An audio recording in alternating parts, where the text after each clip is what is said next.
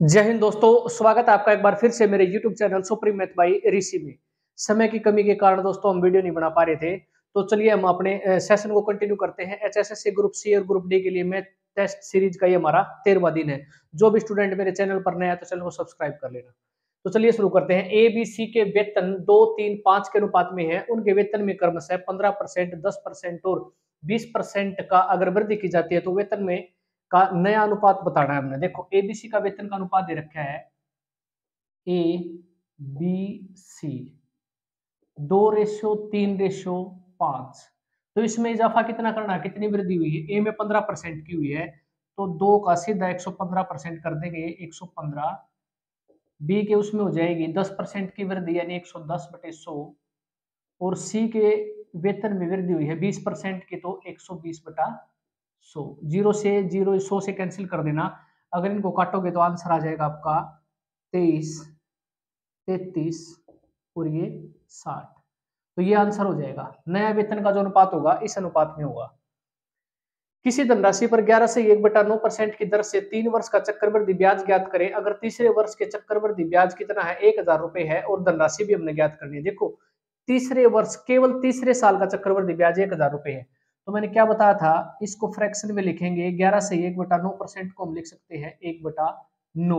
जो ये हर है, इसको हम उल्टा करके लिख लेंगे और जितने समय दे रखा है, उसके अकॉर्डिंग यहाँ पर क्या करेंगे?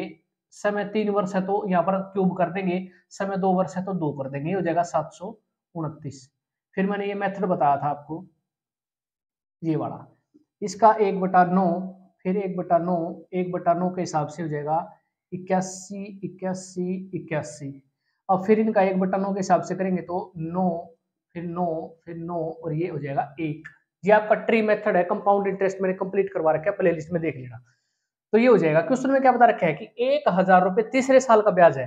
तो यहाँ पर तीसरे साल का ब्याज देखो कितना है, ये बड़ा कितना है तीसरे साल का ब्याज? इक्यासी और नौ नब्बे, और ये हो जाएगा सौ। सौ दे रखा है, और अकॉर्डिंग टू क्वेश्चन कितना है? एक हज़ार रुपए है। तो इसको कितने गुणा हो जाएगा? ये दस गुणा हो जाएगा। अब हमने जो निकालना है, यहाँ पर क्या था? देखो, धनराशि बतानी थी। तो धनराशि हमने सात सौ उनतीस मान रखी थी।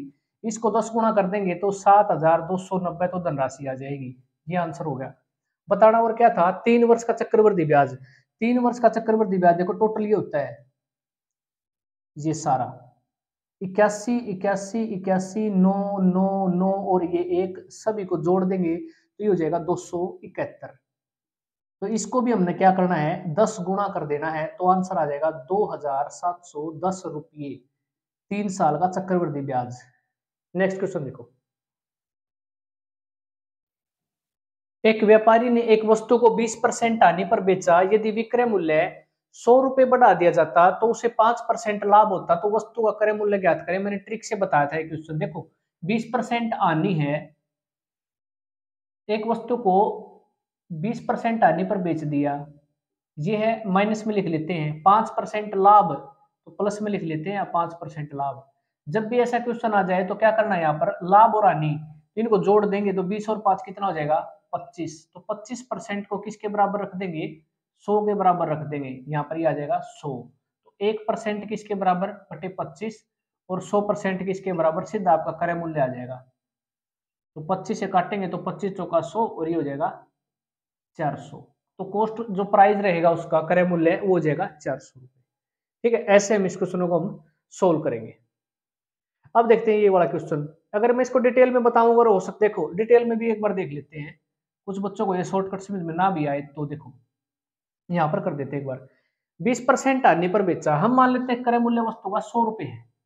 बीस परसेंट आने पर बेच दिया, यानी अस्सी रुपए में बेच दिया। और अगर वो उसे सौ रुपए बढ़ाकर बेचता, यानी अस्सी की बजाय सौ रुपए बढ़ाकर बेचता तो उसे पाँच पाँच परसेंट का लाभ होता। तो सौ में पाँच परसेंट का लाभ कितना एक सौ पाँच। तो यहाँ पर इसका डिफरेंस देखो। पहले अस्सी रुपए में बेच रहा था, अब वो एक सौ पाँच रुपए में बेच रहा है, यानी पच्चीस रुपए ज़्यादा में बेच रहा है। अकॉर्डिंग टू क्वेश्चन कितना है? सौ रुपए ज़्यादा में। तो एक यूनिट की वैल्यू पच्चीस चौका सौ क्रय मूल्य हमने माना था सौ, इसको चार गुणा कर देंगे तो भी आंसर हमारा क्या जाएगा? चार चार गुणा करते हैं, चार सौ आ जाएगा, ठीक है? ऐसे हम निकाल लेंगे। बाकी तरीका ये आपने एग्ज़ाम में करके नहीं देखना सीधा आंसर आ जाएगा इससे। एक किताब का अंकित मूल्य एक सौ पचास रुपए है। दस परसेंट का डिस्काउंट दे दिया तो अब उसका वैल्यू कितनी हो जाएगी? नब्बे परसेंट, यानी कि एक सौ पैंतीस रुपये हो जाएगा। एक सौ पैंतीस रुपये में वो बेचेगा। पैंतीस सौ दस रुपये में कितनी किताबें खरीदी जा सकती है? तो पैंतीस सौ दस रुपये में एक किताब का कॉस्ट यहाँ पर कितने रुपए बेच रहा है? एक सौ पैंतीस में तो पैंतीस सौ दस किताबें टोटल कितने किताबें खरीदी जा सकती हैं? तो 26 किताबें खरीदी जा सकती हैं ये आंसर हो जाएगा।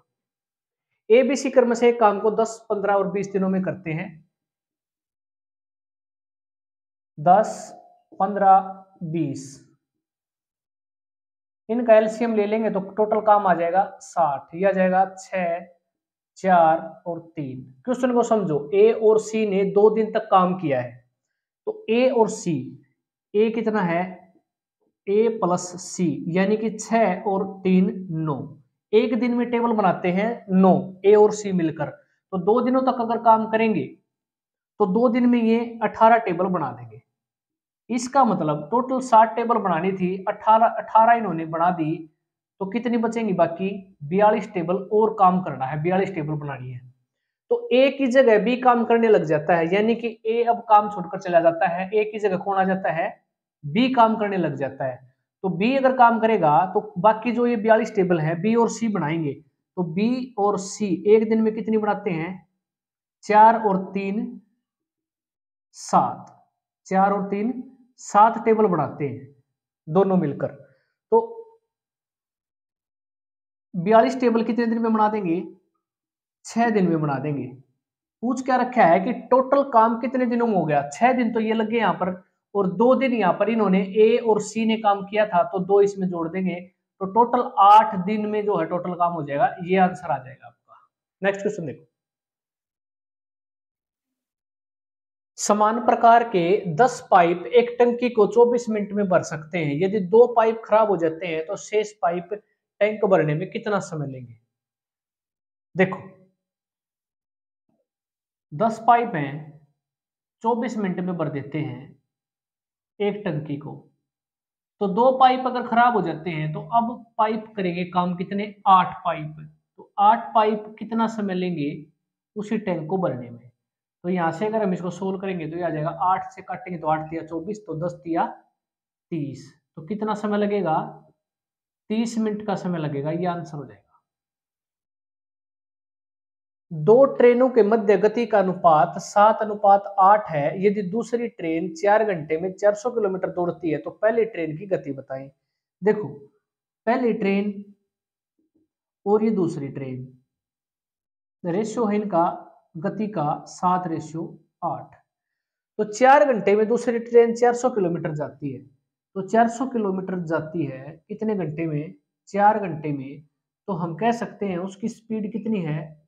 100 किलोमीटर प्रति घंटा स्पीड है। तो यहाँ पर क्या देखो, दूसरी की स्पीड का रेशो दे रखा है, कितना? सात या आठ दे रखा है। यानी कि आठ की वैल्यू सौ के बराबर है। तो एक की किसके बराबर हो जाएगी? बटी में आठ। तो बतानी कितनी थी? पहले वाली ट्रेन की चाल क्या होगी? तो गुणा में सात कर देंगे। तो आंसर आ जाएगा कितना? 87.5 किलोमीटर प्रति घंटा। ये आंसर हो जाएगा।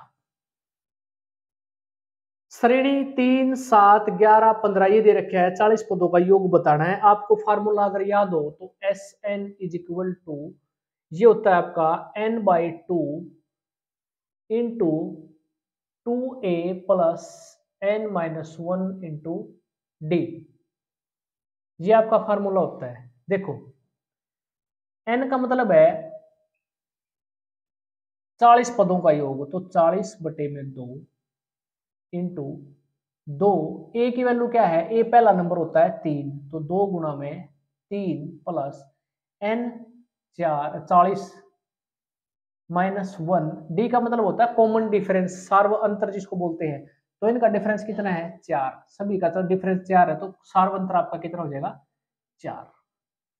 तो दो से अगर इसे काटेंगे तो आ जाएगा कितना? बीस। तो ये बनेगा बीस, ये हो जाएगा तीन दूनी छ प्लस ये हो जाएगा चालीस में से एक गया कितना? उनतालीस।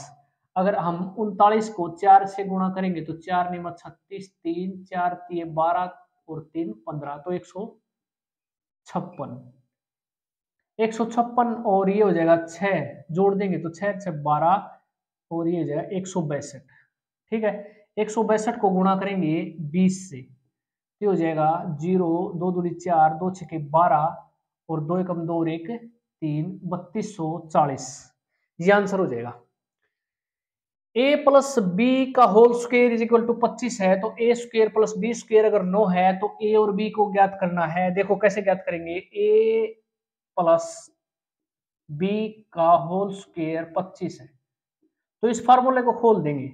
जो जगह A square, B square, two A B is equal to twenty five.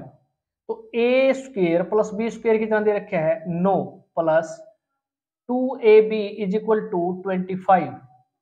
तो यहाँ पर बचेगा two A B twenty five minus nine, यहाँ पर हो जाएगा, ये हो जाएगा सोलह। तो यहाँ पर ए बी की वैल्यू आ जाएगी दो से डिवाइड करने के बाद दो आठे सोलह। आंसर आ जाएगा ए बी की वैल्यू कितनी आ जाएगी? एट ये आपका आंसर होगा। तो आज के लिए दोस्तों इतना ही। हमने जो है ना, जितने भी मैं आपको क्वेश्चन करवाता हूँ, सारे के सारे मोस्ट इंपोर्टेंट क्वेश्चन होते हैं।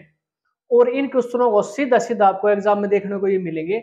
आपने अच्छे तरीके से इनको एक बार अगर आप नोट नहीं करना चाहते, कोई दिक्कत नहीं है तो इनको एक बार देखना है आपने और समझने की कोशिश करनी है। क्लास को पूरी देखा करो तो आपको सही अच्छे से समझ में आएगा।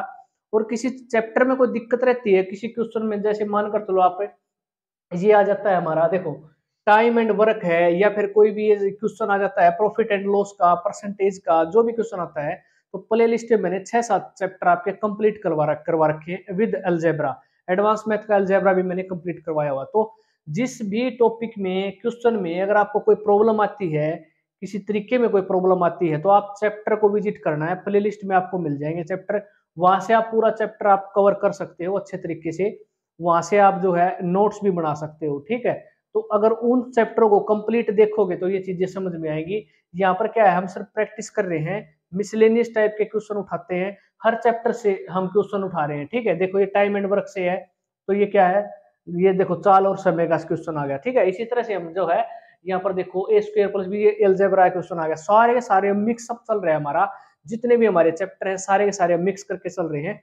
आपको एग्ज़ाम में आपको जिसका बेनिफिट ज़रूर मिलेगा, ठीक है? तो आज के लिए इतना ही। मिलते हैं अगली क्लास में। तब तक के लिए जय हिंद, जय भारत।